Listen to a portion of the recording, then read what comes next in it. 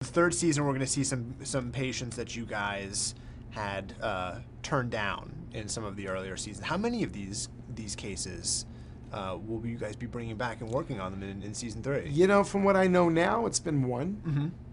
That's a you know very tough thing, and uh, you know, and it's it's uh, it's going to be a great story. You know, and um, again, but this time we have some complications. Mm-hmm. Uh, you know, just tough, tough cases. Talking about botched by nature, are you guys having a good time with that? Yeah, I mean, we've went uh, so far on. Um, you know, since this since this is E, I'm sure I can say this. We've already been on uh, one, two, three, four. Well, two California trips, a couple out of state trips. The out of state trips have been fun traveling. The 2 of us. We fly together. Um, you know, stay in the same hotel. Uh, eat. I mean, we're hanging out together, spending a lot of time together. Yeah. You know that little bit of bromance stuff, and especially when there's you know no camera and stuff. It's you know it's fun too. So it's been you know the, I mean Matt Westmore, executive producer, the way they put it together, to make it seamless as possible, especially when we're like flying after working our butt off, Yeah. minimal sleep, we just go. Um, it's it's it's been it's fun. We're in the middle of it. We're in the thick of it right now. Yeah.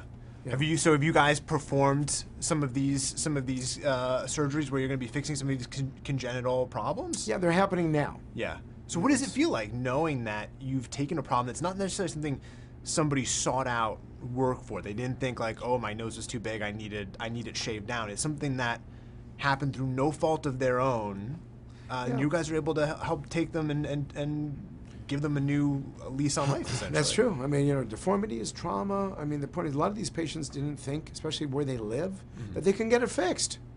And they reached out and said, hey, we can help you.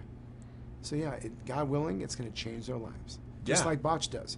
Yeah. Botched by nature, botched.